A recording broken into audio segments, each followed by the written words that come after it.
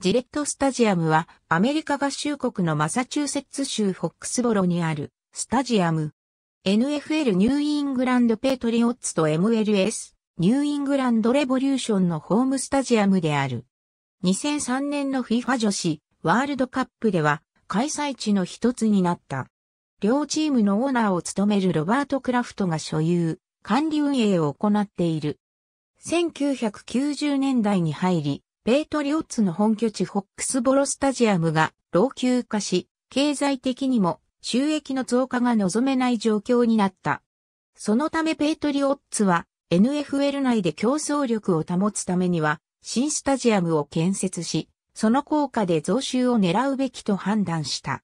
1988年からフォックスボロスタジアムの所有者だったロバート・クラフトは1994年にはペイトリオッツを買収。新スタジアム建設へ模索し始めた。クラフトはボストン市やロードアイランド州の当局と交渉したが、いずれも決裂。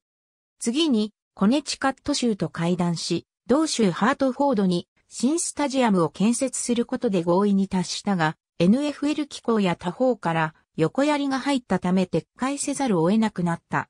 その後クラフトはフォックスボロスタジアムに隣接した国道1号線沿いの土地に新スタジアムを建設することにした。1999年12月6日、フォックスボロ町は建設計画を承認。2000年3月24日、寄港した。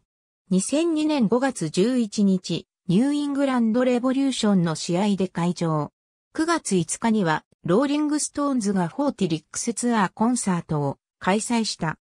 4日後の9月9日、盛大なオープニングセレモニーとともに、ペイトリオッツの新本拠地初試合が開催された。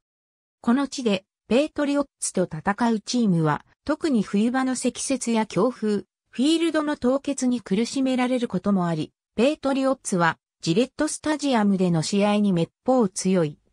2002年12月9日から2005年9月8日まで、本拠地21連勝を達成するなど、レギュラーシーズン、プレーオフ合わせて30勝6敗を記録している。2016年1月1日には NHL ウィンタークラシックが開催。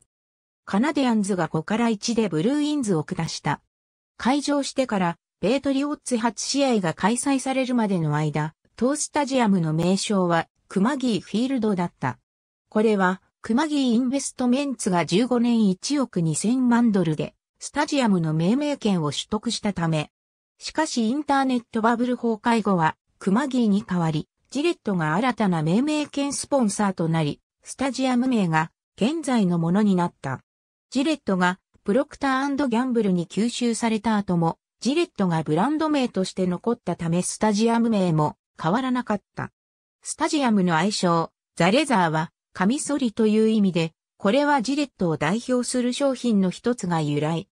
Stadium Projects、Gillette Stadium。Populous、http コロンスラッシュスラッシュポートフォリオ .populous.com スラッシュ projects スラッシュ gillette .html2009 年9月19日閲覧。ありがとうございます。